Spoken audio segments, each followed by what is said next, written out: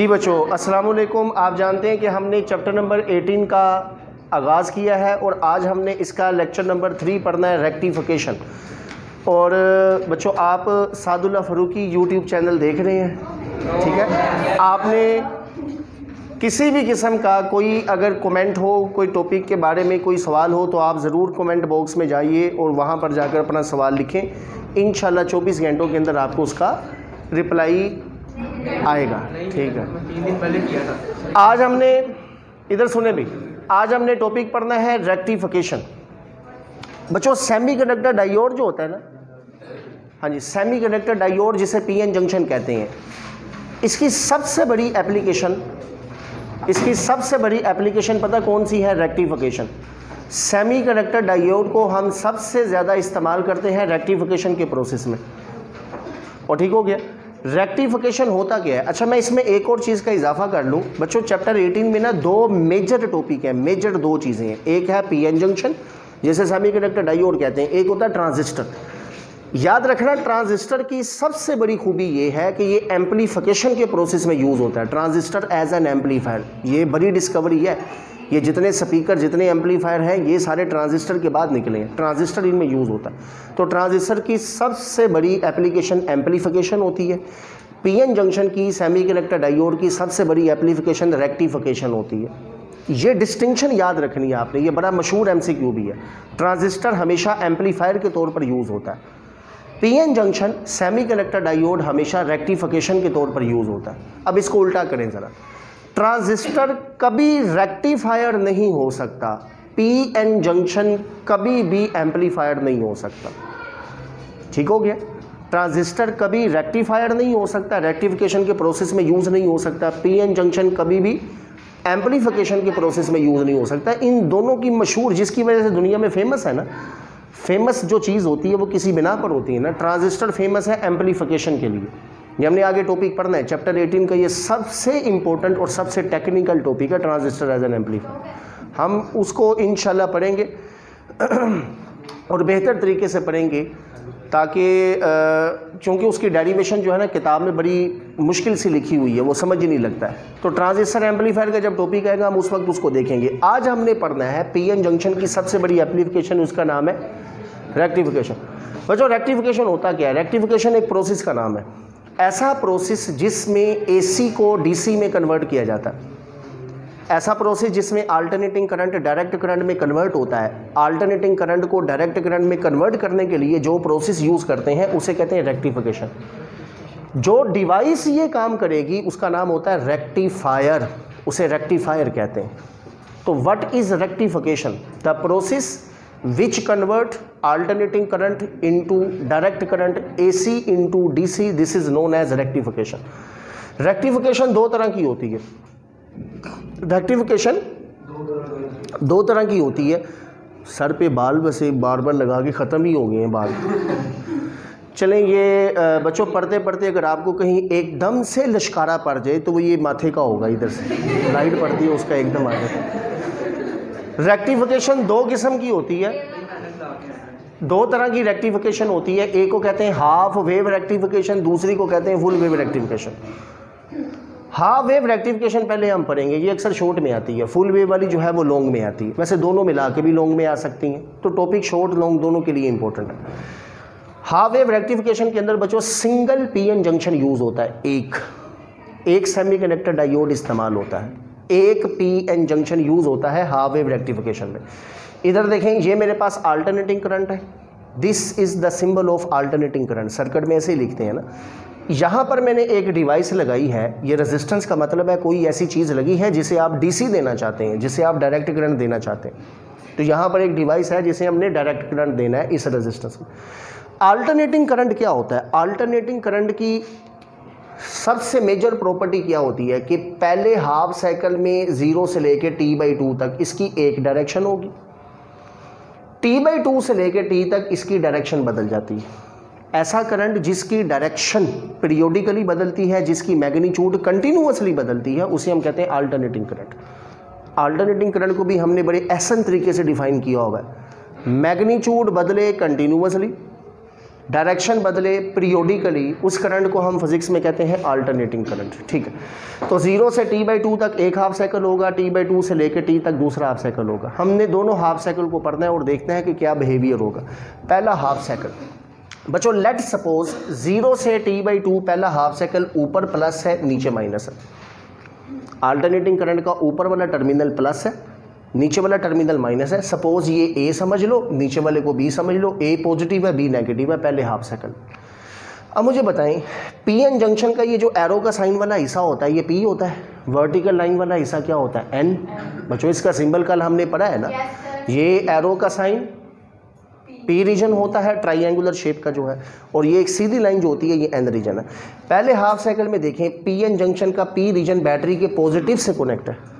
P region battery के positive से connect है. ये एन वाला हिस्सा बैटरी के नेगेटिव से कनेक्ट है. अगर पॉजिटिव पॉजिटिव से हो एन नेगेटिव नेगेटिव से हो दिस इज़ फॉरवर्ड एस यही तो होता है फॉरवर्ड सीधे तरीके से लगा है ना? पी वाला पॉजिटिव पॉजिटिव से जुड़ा है बैटरी के नेगेटिव हिस्सा बैटरी के नेगेटिव से जुड़ा. This is forward bias P N junction आपने पढ़ा था कि फॉरवर्ड बाई एस के केस में पी एन जंक्शन की नेचर कंडक्टिव होती है। देखो रेक्टिफिकेशन का प्रिंसिपल समझाऊँ ना, एक लाइन में, पूरे दोनों टॉपिक एक लाइन में। वो पता क्या? अगर P N junction forward bias होगा उसमें से करंट फ्लो करेगा, उसकी नेचर कंडक्टिंग है। अगर P N junction reverse bias होगा उसमें से करंट फ्लो नहीं करेगा, उसकी नेचर इंसुलेटिंग है। बस इस प्रिंसिपल पर गौर करना है, सारा टॉपिक इसी प्रिंसिपल पर चलेगा। तो बच्चों, पहले हाफ़ साइकिल में क्या हुआ? P N junction forward bias है यहाँ पॉजिटिव से करंट आया, इस पी एन जंक्शन में से ये करंट फ्लो हुआ, यहाँ से ऐसे करंट फ्लो हुआ। ये ऐसे करंट फ्लो हुआ और ये सर्किट कंप्लीट हो गया। तो पहले हाफ़ साइकिल में यहाँ पर जो चीज़ लगी है, उस चीज़ में करंट किस डायरेक्शन में गया है? नीचे की तरफ़। ठीक हो गया? जैसे ही अल्टरनेटिंग करंट का दूसरा हाफ़ साइकिल आएगा टी बाई टू से लेके टी तक, अब इसकी डायरेक्शन बदल जाएगी। दूसरे हाफ़ साइकिल में डायरेक्शन बदल जाएगी ना? पहला हाफ़ साइकिल ज़ीरो से टी बाई टू अगर ऊपर पॉजिटिव, नीचे नेगेटिव है। तो बच्चों, दूसरे हाफ़ साइकिल में क्या होगा? ये मैं साइड पर लिख रहा हूँ। ये माइनस है, ये प्लस है। दूसरे हाफ़ साइकिल में अल्टरनेटिंग करंट की पोलैरिटी बदल जाती है पोल्स बदल जाते हैं। अब ऊपर माइनस हो गया है नीचे क्या हो गया? प्लस। अब देखें, यही पी एन जंक्शन इसका पी वाला हिस्सा पॉजिटिव हिस्सा बैटरी के नेगेटिव से जुड़ गया। बच्चों, ये पीछे वाला देखना है नेगेटिव से। और ये नेगेटिव वाला हिस्सा बैटरी के पॉजिटिव से जुड़ गया। अब ये कौन सी चीज़ बन गई है? दिस इज़ रिवर्स बाइएस अब P N junction reverse bias है। यही तो इसकी एक बेहतरीन किस्म की प्रॉपर्टी है। ये इसका एक बेहतरीन शाहकार है कि पी एन जंक्शन ऐसे हो तो कंडक्टर है, ऐसे हो तो इंसुलेटर उल्टा हो गया। एक ही चीज़ इंसुलेटर भी है कंडक्टर भी है। तो पहले हाफ़ साइकिल में फॉरवर्ड बाइएस था, दूसरे हाफ़ साइकिल में रिवर्स बाइएस अब इसका पी वाला हिस्सा बैटरी के नेगेटिव से जुड़ा है। इसका नेगेटिव हिस्सा बैटरी के पॉजिटिव से जुड़ा इसमें से करंट फ्लो नहीं होगा। फिर जब इसका फ़र्स्ट वाला हाफ़ साइकिल दोबारा आएगा, फिर बचो क्या होगा? फिर ऊपर प्लस नीचे माइनस होगा। फिर ये फॉरवर्ड बाई ये होगा, फिर करंट फ्लो होगा, ये ऐसे करंट फ्लो करेगा, ये चलेगा, फिर ऐसे।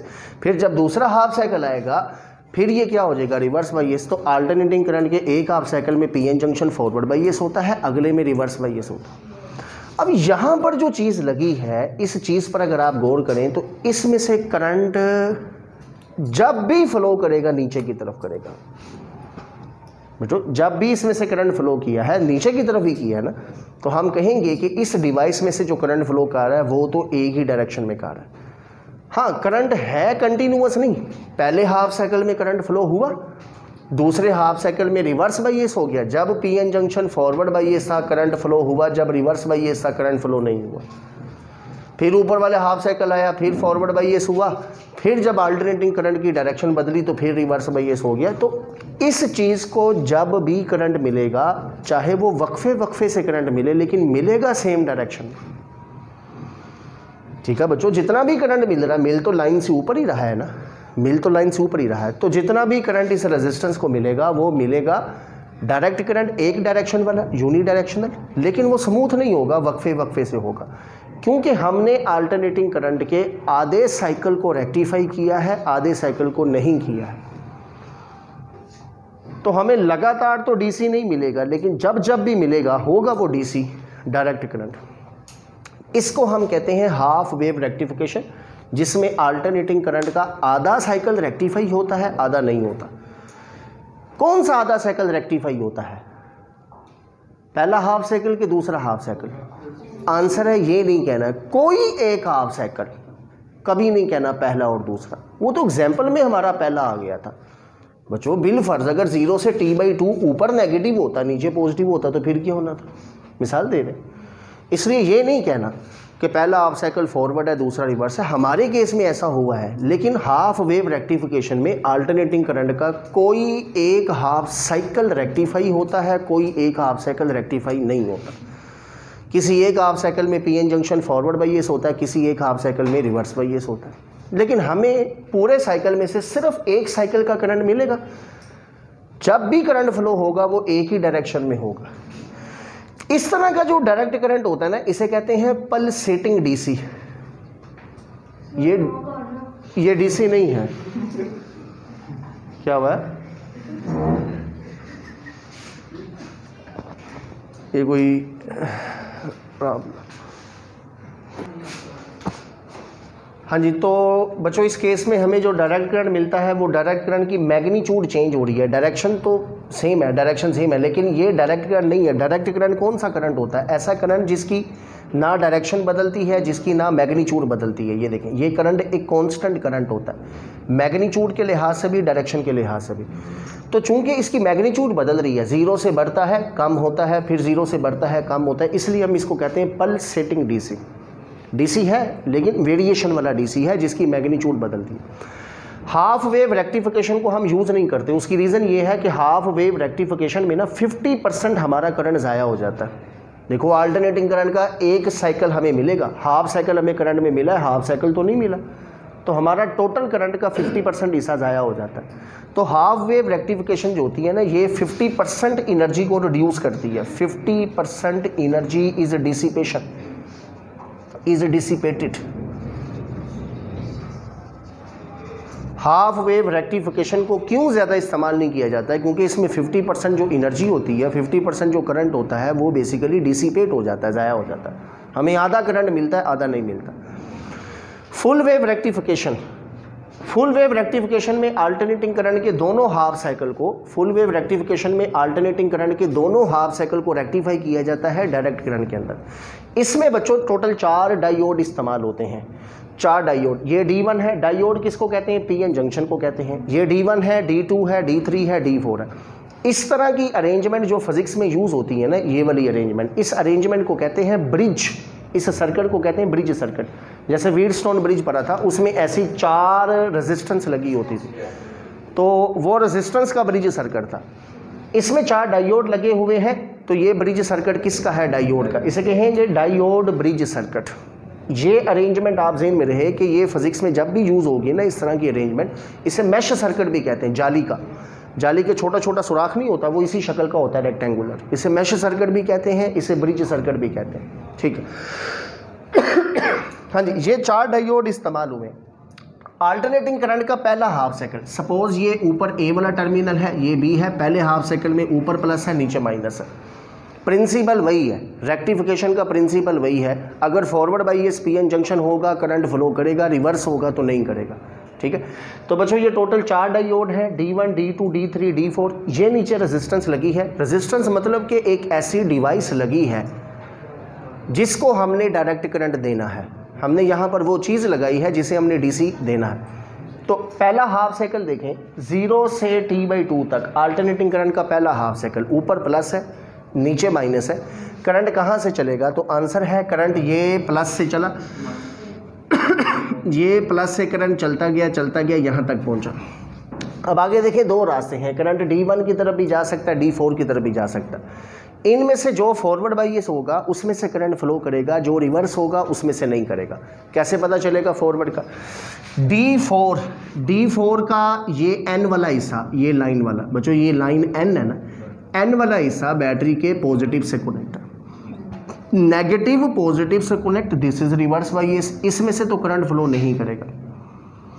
इसको देखें डी वन वाले हिस्से को तो डी वन में देखें, ये पी वाला, ये एरो के साइन वाला पी हिस्सा होता है। ये P region P region battery के पॉजिटिव से कनेक्ट है, ये फॉरवर्ड बाइस है बस एक क्लू मिलना चाहिए ना हमें। एक तरफ़ से भी पता चल जाए तो हमें आइडिया हो जाएगा फॉरवर्ड है कि रिवर्स है दिस इज़ फॉरवर्ड बाइस इसमें से करंट फ्लो करेगा। करंट फिर पहुँच गया है यहाँ पर, इस पॉइंट पर। आगे फिर दो रास्ते हैं। करंट नीचे भी आ सकता है करंट डी टू की तरफ़ भी जा सकता है। तो देखें डी टू क्या है? ये डी टू का पॉजिटिव हिस्सा दिस इज़ पी रीजन ये इसका पॉजिटिव हिस्सा बैटरी के नेगेटिव से कनेक्ट है।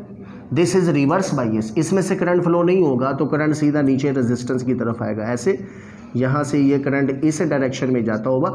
इसका मतलब होता है कि ये नीचे वाली तार और है, ऊपर वाली तार और है। अगर ये जोड़ा हो ना तो ये जोड़ लगता है जोड़, कि ये दोनों तारों का जंक्शन है। ये दोनों तारें जुड़ी हुई हैं। ऐसे बना देते हैं, इसका मतलब है कि ऊपर तार और है, नीचे और है। तो करंट ये चलता होगा यहाँ पर आया। अब करंट, जब करंट इस पॉइंट पर पहुँचा है तो हम फैसला कर चुके हैं कि डी फोर रिवर्स है। पहले ही तो फैसला हो गया था डी फोर रिवर्स है। इसमें तो करंट नहीं जाएगा, क्योंकि दो रास्ते हैं ना, ऊपर भी है, नीचे भी है। डी थ्री का फैसला करें डी थ्री का ये नेगेटिव हिस्सा, ये लाइन वाला। दिस इज़ एन रीजन और ठीक है ना, ये आपके पास डायोड है। डायोड का ये पी हिस्सा होता है, ये एन हिस्सा। तो इसका ये नेगेटिव वाला हिस्सा नेगेटिव ये बैटरी के यहाँ से देखेंगे तो बैटरी के नेगेटिव से जुड़ा हुआ है। This is forward bias तो करंट ऊपर नहीं जाएगा करंट इधर आएगा। यहाँ तक ये रिवर्स बाई एस है। करंट यहाँ से ये इस डायरेक्शन में गया, ऐसे गया, ये ऐसे तो सर्किट कंप्लीट हो गया।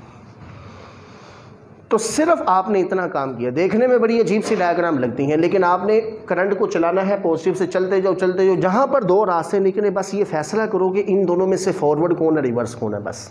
जो फॉरवर्ड होगा, उसमें करंट फ्लो करेगा, जो रिवर्स है, उसमें करंट फ्लो नहीं करेगा। तो पहले हाफ़ साइकिल में हमने देखा डी वन डी थ्री ये फॉरवर्ड बाई थे डी टू डी फोर ये रिवर्स बाई से, इनमें से करंट फ्लो नहीं हुआ। अब यही चीज़ ज़रा दोबारा से आ जाए फिर दूसरा हाफ़ साइकिल दूसरे हाफ़ साइकिल में अब ऊपर माइनस हो जाएगा, नीचे प्लस है। ऊपर वाली पोलैरिटी नेगेटिव नीचे वाली positive alternating current half cycle के बाद अपनी पोलैरिटी डायरेक्शन रिवर्स कर लेता। अब ऊपर माइनस हो गया, नीचे प्लस हो गया। आपने प्लस से चलना है और चलते जाओ। फैसला हो गया है। पहले हाफ़ साइकिल में जो फॉरवर्ड थे वो रिवर्स हो जाएँगे। जो रिवर्स थे, अब वो फॉरवर्ड हो जाएँगे। आप इनको चेक कर भी सकते हैं। तो ज़रा चेक कर लें पहले एक दफ़ा। यहाँ से अगर आप देखें तो बच्चों, ये पॉजिटिव से करंट गया। ये पॉजिटिव से करंट निकलेगा, ये चलेगा, इस पॉइंट पर पहुँचे तो दो रास्ते बन गए। हाँ जी, यहाँ पर आपके पास फिर से ये दो रास्ते हैं। करंट डी थ्री की तरफ़ भी जा सकता है डी टू की तरफ़ भी जा सकता है। डी टू देखें डी टू का ये पॉजिटिव वाला हिस्सा बैटरी के पॉजिटिव से connect this is forward bias इसका नेगेटिव वाला हिस्सा बैटरी के पॉजिटिव से कनेक्ट है। ये रिवर्स है, ये फॉरवर्ड है। इसमें से करंट फ्लो होगा। हाँ जी, आप यहाँ तक पहुँच गए हैं करंट इसमें से गुजरेगा, इस पॉइंट पर पहुँच गए अब फिर हमारे पास दो रास्ते हैं। करंट ऊपर डी वन की तरफ़ भी जा सकता है, नीचे भी आ सकता है। ज़रा मुझे डी वन बताएँ क्या है? रिवर्स ये डी वन का पॉजिटिव वाला हिस्सा ये पी वाला हिस्सा बैटरी के नेगेटिव से कनेक्ट है। इसका पी हिस्सा बैटरी के नेगेटिव से कनेक्ट है। दिस इज़ रिवर्स बाइस इसमें से करंट फ्लो नहीं होगा, ऊपर नहीं जाएगा तो फिर करंट नीचे आएगा। ये रेजिस्टेंस में से करंट फ्लो करेगा। ऐसे ये ऐसे गुजरेगा करंट और इस डायरेक्शन में करंट ऐसे फ्लो होता हुआ इस टर्मिनल पर पहुँच गया। अब आगे आप फिर फिर देखें बच्चों, जब इस पॉइंट पर करंट पहुँचा है तो डी फोर की तरफ़ भी जा सकता है। डी थ्री तो डी थ्री तो पहले ही डिसाइड हो चुका है कि ये रिवर्स है। ये रिवर्स है। ऊपर डी फोर क्या है? ये फॉरवर्ड बाई एस है। हाँ जी, ऊपर डी फोर बच्चों फॉरवर्ड बाई एस है। उसका देखिए नेगेटिव हिस्सा बैटरी के नेगेटिव से कनेक्ट है, वो फॉरवर्ड बाई एस है। तो इसमें से करंट फ्लो होगा। ये करंट ऐसे फ्लो हुआ, यहाँ पर पहुँचा, ये रिवर्स बाई एस है। रिवर्स वालों को पहले ही आइडेंटिफाई कर दें, ये भी रिवर्स है, ये वाला भी रिवर्स है। अब D one D three reverse है। इस केस में रिवर्स कौन थे? ये रिवर्स था, ये रिवर्स था। D two D four reverse थे। तो पहले हाफ़ साइकिल में जो रिवर्स है, अब वो फॉरवर्ड हो गए। जो पहले फॉरवर्ड थे, अब वो रिवर्स तो बच्चों डी फोर पर करंट गया, यहाँ पर पहुँचा, यहाँ से करंट इस डायरेक्शन में आया और ये सर्किट कंप्लीट हो गया। तो आप यहाँ से देख सकते हैं कि अल्टरनेटिंग करंट के पहले हाफ़ साइकिल में भी इस रेजिस्टेंस में से ये जो चीज़ आपने लगाई है ये जो डिवाइस लगाई है, इसमें से करंट नीचे की तरफ़ है। दूसरे हाफ़ साइकिल में भी देखें, उस रेजिस्टेंस में करंट किधर है? नीचे की तरफ़ है। तो अल्टरनेटिंग करंट के दोनों हाफ़ साइकिल में करंट नीचे की तरफ़, यानी सेम डायरेक्शन में है। नीचे का मतलब सेम डायरेक्शन तो हमने अल्टरनेटिंग करंट के पहले हाफ़ साइकिल को भी रेक्टिफाई कर दिया, दूसरे को भी रेक्टिफाई कर दिया। तो दोनों हाफ़ साइकिल उसके रेक्टिफाई हो गए। इसको कहते हैं फुल वेव रेक्टिफिकेशन ठीक है? तो फुल वेव रेक्टिफिकेशन को फुल वेव रेक्टिफिकेशन को अगर हम बच्चों डायग्राम के ज़रिए रिप्रेजेंट करें तो इसको डायग्राम में कैसे रिप्रेजेंट किया जाएगा?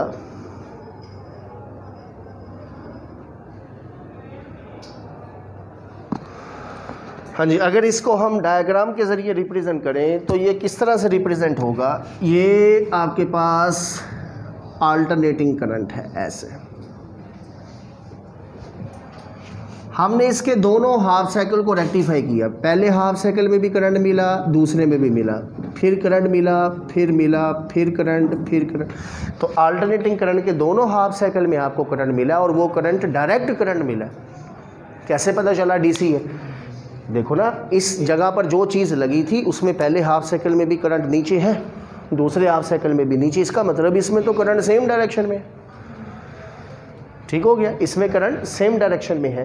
तो करंट का सेम डायरेक्शन होना दिस इज़ डीसी अच्छा ये डीसी प्योर नहीं है। इसे कहते हैं पल्सेटिंग डीसी क्योंकि डीसी की दो खूबियाँ होती हैं ना। एक उसकी सिमत नहीं बदलती, एक उसकी मैग्नीच्यूड नहीं बदलती।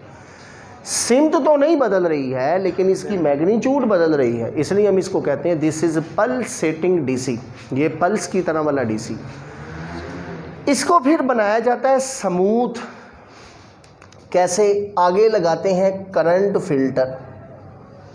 Current filter. Current filter हमारे सिलेबस में नहीं है। लफ्ज़ उसने बस यूज़ किया करंट फ़िल्टर का। मैं आपको सिर्फ़ इतना बता दूँ this is R C resistance capacitor parallel circuit बस ये वैसे ही नाम याद रखना। ना भी रखोगे तो आपसे कोई पूछने वाला नहीं है।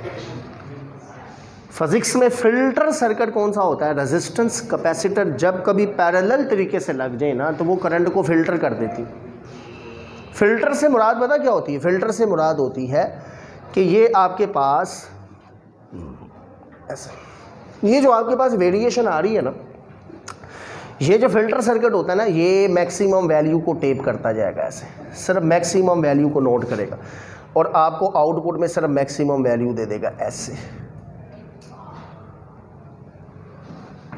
This is almost DC hundred percent तो नहीं हुआ, लेकिन जहाँ तक समूथ बना सकते थे, सीधा कर दिया हमने वेरिएशन को कम कर दिया।